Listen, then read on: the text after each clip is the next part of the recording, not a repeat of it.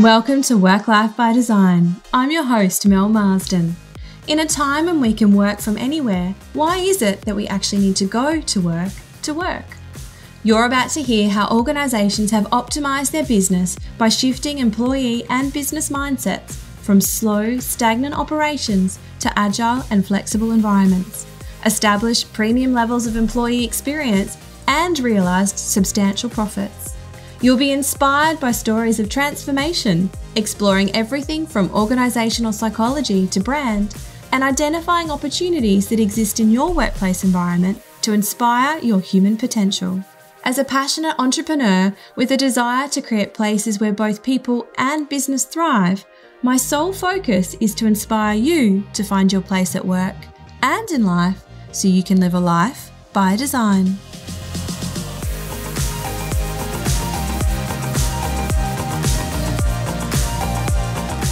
Hello, and welcome to this week's episode of Work Life by Design.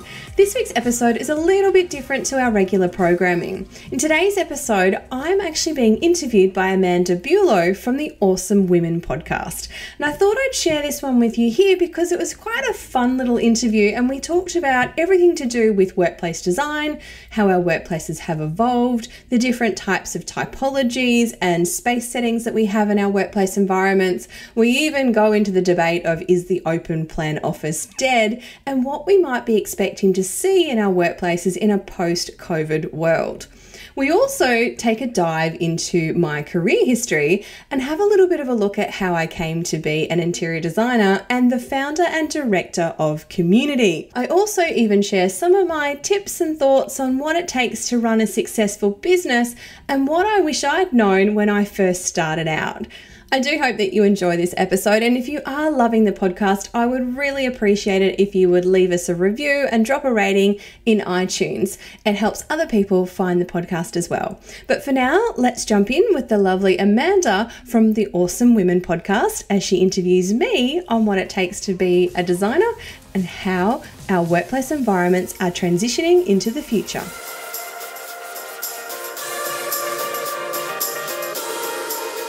Hi, everybody. Well, it's time for another Awesome Women podcast. And today we have Melissa with us, who's the founder and director of COMUNiTI. Hi, Melissa. Hello, and thank you for having me on the show. Not a problem. So, Melissa is a workplace dynamics strategist who works with corporate and professional service firms to create physical environments that drive high performance teams. Oh my God, how cool is that? So give us a little more on that. You know, Melissa, does that mean that the open plan office that we've all just gotten used to is no more? Well, I think to start with, what we do is we actually work with organizations to help them understand how the people within their organization actually work. And that's where the dynamics piece comes in. It's by unpacking their organization to figure out who works there, what they do, how they interact, what type of personalities they are, what their roles and responsibilities are, and then rebuilding an environment around that that enables them to actually perform. So it gives them the tools that they need, the spaces that they require to actually come to work and to thrive because they've got everything they need to actually do their job. Yeah, From the perspective of the open plan, I'm a bit of a bugbear about this one because everyone goes, Oh, I hate open plan, I hate this and I hate that. I think open plan has got a really bad rap because it went from such an extreme of being this traditional closed office environment to everyone being thrown out into workstations without the support spaces to enable those private conversations or anywhere for some sort of privacy to occur. So I think workplaces have evolved over the last few years to move away from open plan to being a more balanced interaction, having other spaces for people to be able to utilize and engage in we talk about it in terms of three typologies. You used to have your office, your meeting room, and your desk. That was it. But we've shifted a lot more since then, and we're introducing more and more of those spaces. So the term open plan can be quite expansive and can encompass quite a few things. So it just really gets down to the nitty gritty of, of, what is open plan and what is everyone's individual experience of it. And I think you're right in the sense that open plan's been taken too far. There were times when you just needed to have those conversations that no one else could hear. The only place in a lot of businesses I worked in was to go into the boardroom or to go outside into the car park. And, you know, there's distractions and noises. And again, you still had to be conscious of the conversation that you were having.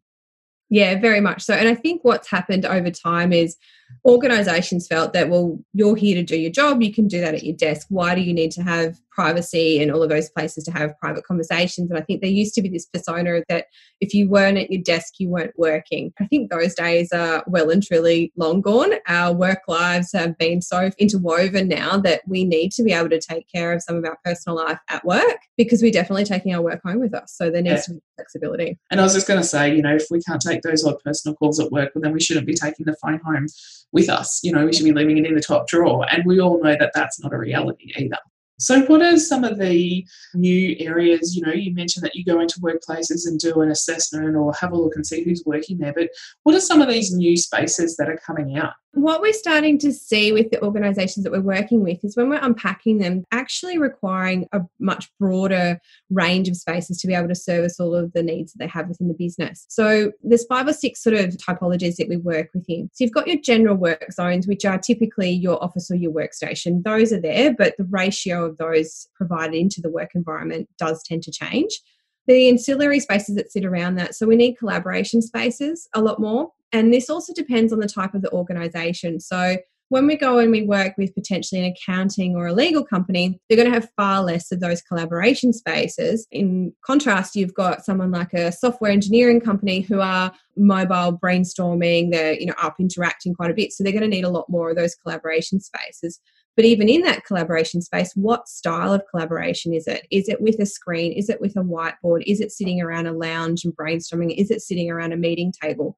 We've then also got lounging spaces, so places that people can go and sit down and read a document, have a coffee, and do so in a different zone that isn't at your work point. So, just something to sort of shift up that mental energy throughout the day as well. You've also then got your bump spaces. So they're the areas that are like hotspots within your organization to help bring people together. It's those serendipitous interactions. So you'll find cafes within or kitchen spaces within our businesses. The print zone is also another really hot spot. So they're the spaces that will sort of bump into each other. We have conversations with different departments and different people that we previously may not had much interaction with. Mm. We're also seeing a lot more standing spaces. So whether that's sit to stand workstations or fixed height standing desks or standing collaboration spaces, we're seeing a lot more of that because it's encouraging that incidental exercise to happen within our premises. So, encouraging our people to be a bit more healthy and conscious of their own well-being. The last space that we're seeing a lot more of is those quiet spaces. So, again, those quiet spaces could take on the form of a quiet room. So, somewhere that I can go and take that private phone call, jump on a webinar, do a, a Zoom call, or it could just be a communal quiet space. So maybe it's a library zone. So there's a written rule that we all don't take our phone in there, we don't speak in there, and it's somewhere that I can go and I can relax and I can just kind of chill out for a while and I can work in a quiet environment without being closed away in a box. So they're the types of zones that we're starting to see come through. And but as I said, within them, there's quite a lot of variance that you do see with that as well. Let's say that we all work an eight hour day. I know that's not necessarily how it happens, but we can't be performing at that peak for eight hours. Like it's just we're gonna crash and burn. And it's great that there's these quiet spaces, even because, you know, after you've had that meeting about a $34 million tender, or you might have had a phone call with a customer who's irate about a situation, not so much yourself. Sometimes, if you go and just take that 10 or 15 minutes with a coffee, just to take that time out, then you can recharge, I guess, for the rest of the day if that's ahead of you, rather than stewing on that phone call that you had at 8 o'clock or 8.30 in the morning and it sets the tone for the rest of the day. Absolutely. And I'm seeing that more and more within our organizations the introduction of wellness and multi purpose spaces. So it's somewhere I can just go and lock myself away for five ten minutes, regroup. If we can encourage that kind of behavior to happen within the environment and it's actually constructed to support that, I think that the health and well-being of our employees is going to be elevated in in our work environments by actually acknowledging that that is a need and then providing for that. Absolutely. Instead of just, you know, constantly trying to get more and more and put that, you know, constant push and, and nose to the grindstone type of thing. Yeah, mental health of our staff and ourselves is something that we, it's the conversation is happening more and more, which is great to see. Yeah, and those spaces need to feel different to the rest of the environment as well. You know, our workplaces are those high productive, high energy zones. So this needs to have the ability for you to be able to take it down a few notches. So dim lighting, softer carpets, you know, more residential style furnishings in there as well, perhaps some plants, some nice lighting. Those sorts of things help to kind of create that calming environment and whether there's smell and scents in there as well. All of these things help with all of our sensory stimulation so that we can actually help bring that emotional level down. Yeah, no, I like it. I like it. With, I guess, taking some of those workspaces into consideration and the work environments that we've had over the last few months with COVID, many of us have been working from home five days a week. And on some level, we, you know, need to make sure that we're having those different spaces and zones at home as well. Are we going to take some of these positives out of what we've been doing over the last few months? Certainly hope so. Some of the work that we were doing through the early stages of COVID were we did some training programs around how people could actually use their whole home and replicate those sorts of environments that we create in our corporate workplaces within our home. So thinking about the activity and the task that we do each and every moment throughout our day and how we can then align that back to our home environment. So, if you can set up a home office, fantastic, and then that's kind of like your general working zone. But we highly encourage people not to sit there all day because when we're sitting at home in our general work environment all day, we're staring at a screen we're not physically moving between meetings, we're not getting up, we're not going to the photocopier, we're not going to have a chat with a colleague. Everything's happening on a screen. So we're physically planted to a chair all day, and that's really unhealthy for us as well. Thinking about it in terms of those five zones I mentioned. So if you need to do a standing style working or a meeting, go and use the kitchen bench because it's at that elevated height. Prop your laptop up and you can work there. Perhaps you can do a team meeting call there rather than actually staying at your desk. If you're going to be reading a document or you've got some quieter work to do, go and sit in the lounge room and do that. I even encourage people to use their bedroom. I know most people go, don't use your bedroom for working, but if you're using it for the right style of energy that you want to bring to the task that you've got to do, then I think it's perfect. I love sitting on my bed cross legged with all my stuff spread out. I find it the most creative space for me to kind of get into that zone and just sort of have that free thinking. So I think it's about finding what's going to work for you, thinking about the types of activities you need to do and their mental energy you need to bring to them, and then kind of pairing that with the different spaces within your home to help you shift up your day and get some of that incidental exercise in there as well. Yeah, absolutely. You know, what works for yourself might work differently for me and would work differently for Sally in the office too. And we've also seen as well that some people are thriving working from home. Other people are missing that separation of work and home. You know, everyone's working differently. And I think the last few months have definitely highlighted that as well. I completely agree with that. And I think some people are more hardwired to work individually and independently than others. And again, it comes down to that personality style. Am I an introvert or am I an extrovert? Even with that, I think the social and human connection is really, really important. So our workplaces have provided that for us. Hmm. But I think the other thing that does come with this is some people really enjoy structure and routine, and our workplace environments really support us to be able to provide that. And they also guide us through how we are actually to behave every single day. The way that our workplaces are designed, and most people don't quite understand this. And it wasn't until they'd been taken away from us, and all of a sudden we had to figure out how to get out of bed in the morning and find ourselves to our computer to, you know, start working at nine o'clock we didn't really understand the mental routine that we go through in terms of getting up, getting dressed, getting ready to go to work, commuting to work, arriving at our building, transitioning through the stages of our building to find our desk. Yeah. There's actually a really big process in that that mentally primes us and prepares us for our working day. And so when we're working at home, we don't have that and it would be the same coming home. You know, you don't have that 45 minute or hour commute or even 10 minute commute to listen to your favourite music turned up or have a laugh at whatever's being said on the radio and disconnecting from that workspace too. Being able to walk in your home and go, yep, right, I'm home now. Let's do what we need to do here. Where you're just walking out of one room and into the kitchen. You don't have that disconnect. No, so it's about creating a new routine of how you set up your workday and how you close your workday. Some people go for a walk on the beach if they're lucky enough to live in that sort of space, or they take the dog for a walk. For me, it's a shut down, clean up, go have a shower, and change into my PJs because then that's it, work's done. Sometimes that works for me, and sometimes I've just got crack loads to do, and the day keeps going. So it's and a transition. and again, it's identifying what works for you. You know, some people I've heard just simply, you know, reversing the car out of the driveway, doing a block, and then coming home gives them that same sense of driving to work. And if that's what works, go for it.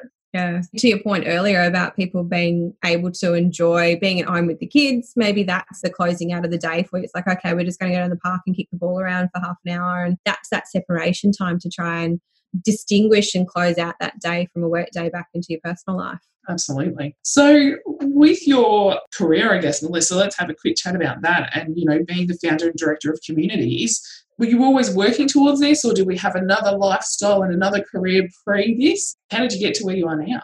I've always known I wanted to have my own business and I've always been interested in design. And so when I left high school, I went off to become a graphic designer actually. Started at university at Griffith, and the first year is a three strand year. You learn industrial design, interior design, and graphic design. And at the end of the first year, you have to decide. And I just looked at it from the first year and went, if I have to design logos for the rest of my life, I will shoot myself.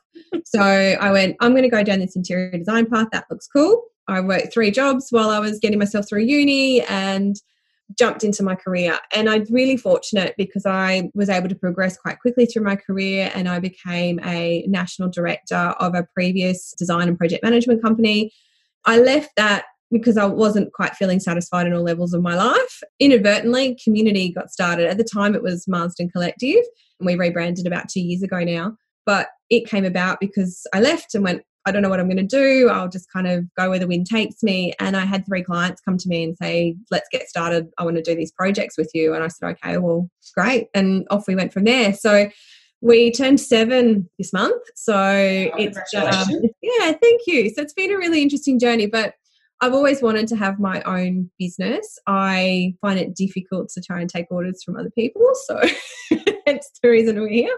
And I like being able to kind of control my own destiny. So that's how that's all kind of come together. But very happy to have made it seven years in business now and still be standing, particularly after COVID yeah, I guess COVID's taught us all sorts of different things too with business. I know from an AWIC point of view, it was all about making sure we were there to support our community, but also making sure that we were still visual during that time. You know, that we may not be having events, but we definitely increased our presence through virtual events and those sorts of things. We kept in front of it, I guess, for lack of a better word, but it's definitely taught us lots of new things about marketing and how to get through diversity and yeah i would agree with that. We ramped up our social presence as well through this time and we also introduced a Facebook Live every week and created a community for us to be able to have a conversation. So we started the Facebook group COMUNiTI Dialogue mm-hmm. so that we could encourage our clients to come in and join us. Early on, it was a really great platform because we started to talk about some of these things around rituals and routines and adaptation and you know how we all kind of getting on. And so that was a really great space for us to be able to have those conversations. And now that we're starting to transition back into the workplace, the conversations are sort of starting to shift as well. And we're starting to talk about more factual things like lease terms and all of the, the really important things that come with designing a new workplace. Yeah. So I want to have a quick chat to you about our next generation. From an AWIC point of view, we've been working with TAFE Queensland and part of that conversation was that we wanted to let kids that are, or students that are in grades 10, 11, 12 know that there's this whole world out there that's waiting for them. You know, construction isn't just about dirty trucks and tool belts. Like yourself, if you've got a flair for colour and being able to match pinks and purples and polka dots and stripes, then there's this amazing career waiting for you as an interior designer. If you are a facts and figures type of person and you want to be an accountant, have a think about maybe specializing in the construction industry. And we wanted to highlight those possibilities? Is it something we need to be embracing our next gen? Do they have a whole nother level of skill sets that they can bring to our business that we aren't aware of? Look, I think the next generation are going to definitely bring a new challenge to our businesses because if you look at the way that our education system is bringing people through it, the types of schools that are being designed now, they're kind of agile environments for education. Universities have been dealing with this for years. You know, even when I went to uni, you were in charge of your own timetable and making sure that you delivered your assessment pieces. And then we go into the workforce, and all of a sudden we're stuck in a cubicle and told to show up from nine to five, and this is what you need to do. And a lot of that has become that command and control style leadership over outcomes based productivity. And our universities are designed around outcomes based productivity. So I think we're starting to see that shift in our workplaces. And it's about having to have to trust the people that we're employing to be able to do the job to the skill level that we need them to do it. Having said that, with the new graduates and things that will be coming into the industry, there's a level of learning that just happens by presence. And I like to call it by osmosis. And workplaces are fantastic places for that because if you sit around a bunch of people who are quite experienced in what they do, you will learn by overhearing conversations, asking questions, and just being in a general environment with other people who have been doing this for quite a period of time. So there's that element that is going to be challenged particularly with organizations that are going to go to a far more flexible work environment. And there will need to be far more structure put in place in order to ensure that the skill sets are being transferred to those graduates as they come in. And I think you're right there in terms of the high school students that we've got at the moment. You know, they're very tech savvy, they're all over this stuff. They've just had to do homeschooling for the last, you know, six plus weeks as well. So they're quite agile and adaptable individuals. And it's now going to be a challenge for us as businesses, as managers, and as leaders to be able to orientate them into our businesses and ensure that we're communicating not only our culture, so that they're actually understanding who they're working for, and particularly if they're in that remote style environment, but also then what their skill sets uplift are going to be over that period of time and how that happens. Yeah, if we don't encourage it when they come into our workplaces, I think they're going to quickly turn around and go, you know what, this place isn't for me. And we need that injection, that new blood into our workplaces. I was actually chatting with a client the other day, and he was saying, you know, they've onboarded someone through COVID and they've never met this person face to face and they've never been within their office. And so they've got a perception now about what the culture of that organization is and whether or not they still fit within that organization as they now all coming back into the office. So I think our structures around onboarding and culture, how we're radiating that and you know encouraging all of our teams to happen and engage with that on a, a technological and a, a virtual level it's going to be really interesting for us going forward because it's not something that we've, as organisations, put a lot of energy into in the past. No, because many of them in the construction industry as a whole, if the flexibility isn't available because you know you don't get the same productivity if you're working from home. There's a level of trust that's not there, and all of a sudden we've come out of COVID or during COVID, and it's been working fine. Productivity is still happening, jobs are still getting to site, and it's about us having a, a reflective look on that. I think, and it's definitely been an opportunity where we take the positives out of the situation and go, you know what, this has worked. And do we have to throw the baby out with the bathwater at the end of it? Uh, look, I actually was secretly very happy about COVID in a very morbid kind of way. There's been many quotes that have come around and said, you know, COVID did overnight what change programs take 18 months to achieve. And it's all about mindset and perception. And we have the technology, we have the ability. It's about us being able to accept that that's the way things are going to be and and work with it. And lo and behold it's possible. So you've all survived yeah that's it. That's i think a very positive. It's been able to really shake up the system yeah. around how we work and how we need to work and how we think we work a new beginning in terms of what we can expect from our workplaces moving forward. Yeah. The shame that I think would be is if we do go back to just going, oh well, we'll just pick up business as usual. We'll we'll do things the way we've always done them because that's just what we do, rather than taking this opportunity to reflect and identify what's actually really working, what's been good for people, and then setting up a new standard going forward.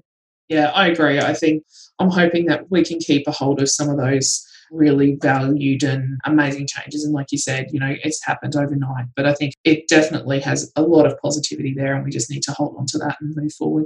Totally agree. So, Melissa, give us three tips. Anybody who's out there listening who might be thinking about starting their own business, what would you be saying to them at the moment?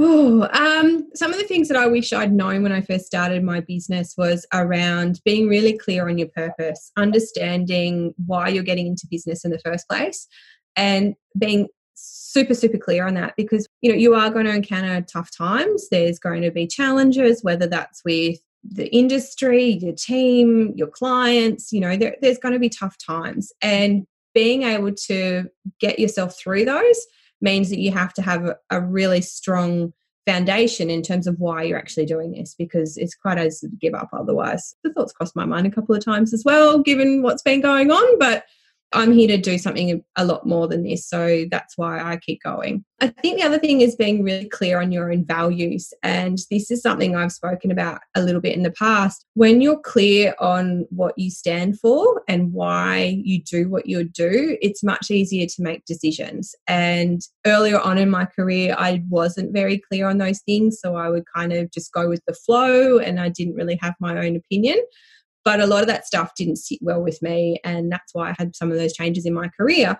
And now I know exactly what's important to me. I know exactly what it is that we want to be achieving. And that helps me make those decisions as I move forward from a values perspective. And the third thing that I have learned, which has been probably one of my toughest lessons to learn, is that no one is going to care about your business as much as you do. Yeah. And that's okay because it's not their business, but it's about managing your expectations so that everyone is still very happy and comfortable and we're all doing this together but it's at their level as opposed to what your level is. You're the owner of the business that's your responsibility and that's how you kind of need to manage through. So just being really conscious that you're the one who's going to give the biggest shit at the end of the day and yeah yeah no, absolutely agree, 100%. Well, thank you very much, Melissa. It's been great to have a chat with you and to find out about all of the new open spaces. And, and I guess it gives us all something to have a think about when we head back into the office, if we head back into the office. Yeah. Um, so, Melissa, what's the best way people can reach out to you if they're listening and they want you to come and have a look at their workplaces and seeing what sort of dynamics you can bring to their place of business? The best way to get in touch with me would be send me an email, and you can do that at melissa at COMUNiTI, and that's spelled C O M U N I T I dot com dot au. If you shoot me an email, and I'll get back to you. Fantastic. Thank you for your time, Melissa, and uh, everybody listening, have a great day. Thanks very much, Amanda. Thank you for joining me for Work Life by Design.